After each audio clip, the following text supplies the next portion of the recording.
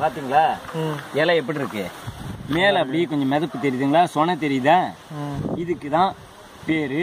என்ன சொன்னேன் துத்தி இலை இது. சுத்தி இலை.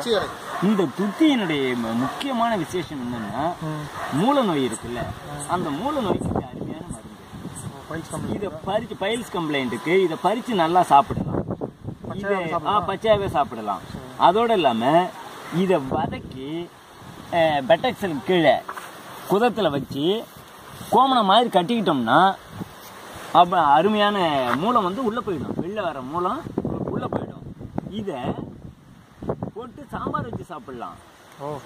எண்ணெயில வதக்கி இதை சாப்பிடலாம். இதெல்லாம் செய்யும்போது இது சரியான மலமிளக்கி. மூலம் எதால வருது? ஆ மலச்சிக்கலால வருது. அந்த மலச்சிக்கலை போக்குற பண் தன்மை இதுக்கு இருக்கு.